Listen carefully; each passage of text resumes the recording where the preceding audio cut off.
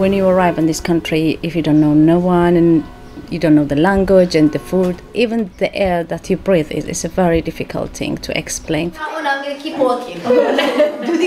My name is Eden, and I'm the Women's Group Project Coordinator here at Refugee Resource. So I work with refugees and asylum seeker women and young children as well. Next time, this is just going this back. I have some uh, women in the group. When they came here, they're very low. They try to kill themselves and things like that. But now they they are doing their degrees. They're doing full time jobs. We are doing really great job. We change people's life. We make people really useful. This one, okay? The things, I'll tell you if we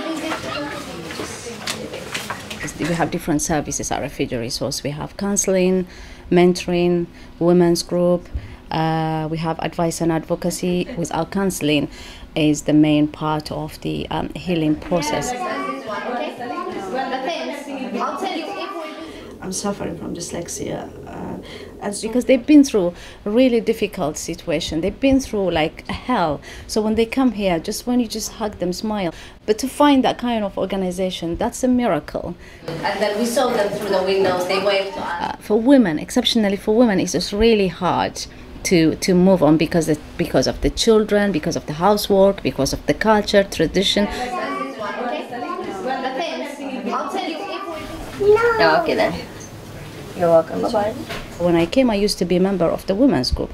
Now I'm leading the, the group and I'm working with this uh, fantastic organization. So this is a big example what uh, we changed people's lives. So yeah, it changed my life as well.